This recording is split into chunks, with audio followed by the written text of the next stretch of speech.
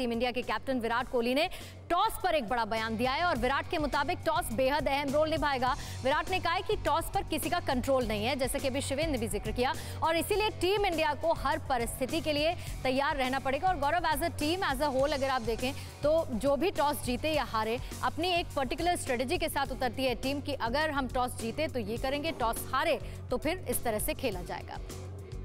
Yeah, it will continue to be a, a big factor, uh, and that's the nature of this tournament. Um, you can look at the situation in two ways. Either you can bank too much on the toss, or you can you can challenge yourself as a team to say, okay, if, if even if you lose the toss, we are good enough to to bowl or bat in any conditions, and that should be the attitude because you don't have time in the in the shortest format of the game to to think too much about what happened at the toss. तो Virat Kohli captain जो कि साफ़ कहते हुए कि toss ज़रूर यहाँ हमारे कंट्रोल में नहीं है, लेकिन एक चीज़ जो हमारे कंट्रोल में है, वो है एफर्ट और टीम इंडिया पूरी कोशिश करेगी कि हर वो एफर्ट डाले जिससे वो मैच जीते। लेकिन जरा टॉस का रोल कैसे बहुत अहम हो जाता है, ये समझिए। अड़सठ में से सैंतीस मैच टॉस जीतने वाली टीम के नाम रहा है।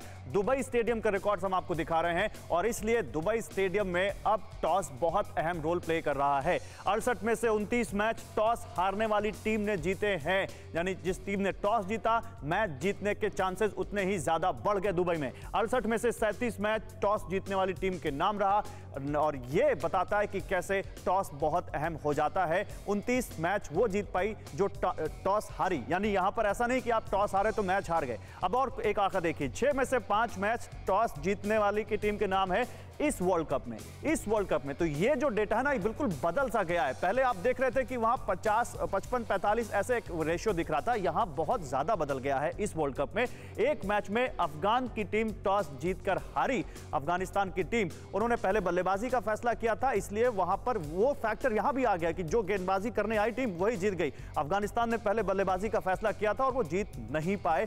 बाकी सभी टॉस जीतने वाली टीमों ने मैच जीता पाँच मैचों में, जो बाकी पाँच मैच थे। और ये बहुत अहम हो जाता है बिल्कुल, लेकिन लेकिन क्या ये हमेशा ऐसा ही चलता है? ये भी गौरव, बड़ी बात है, क्योंकि देखिए ऑन पेपर्स चीज़ें अलग होती हैं, लेकिन जब भी कोई टीम मैदान में उतरती है तो खेलने का बिल्कुल तरीका बदल जाता है। उस वक्त की कंडीशंस अलग होती हैं। टीम में कौन कौन है इस पर सर मैं रिएक्शन लूँगी लेकिन कुछ हम यहाँ पर आंकड़े और दिखाना चाहेंगे।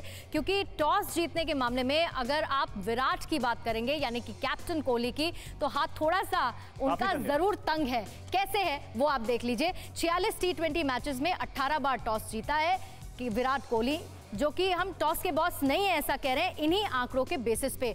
और इसीलिए पिछले मैच में भी हमने देखा जब पाकिस्तान के साथ मैच हुआ था तब भी टॉस हार गए थे। बहरहाल पैंसठ वनडे में 28 बार टॉस जीता है विराट कोहली ने और इसके साथ ही छियालीस टी ट्वेंटी में 18 बार टॉस जीता है कैप्टन कोहली ने। पैंसठ वनडे में 28 बार वो टॉस जीत चुके हैं।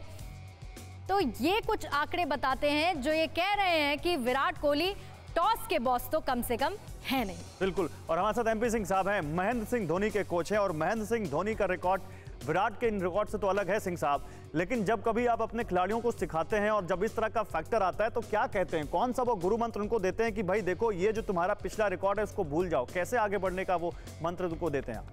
देखें टी ट्वेंटी में हर दिन एक अलग दिन है। आप मेंटली फिजिकली और टेक्निकली जो भी आपने गेम दिखाना है फ़ील्ड पे ही दिखाना है। और 20 ओवर है आप उसमें कहीं कुछ ये नहीं कर सकते कि दो चार ओवर स्लो खेल दें या कुछ दो चार ओवर ही आपने गलत डाल दिए तो मैच एकदम चेंज हो जाएगा।